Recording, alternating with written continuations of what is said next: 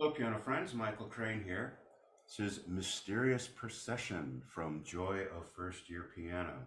And this features just one note in the right hand, just a repeating E, and our melody is in the left hand with A, B, and C. All right, here we go.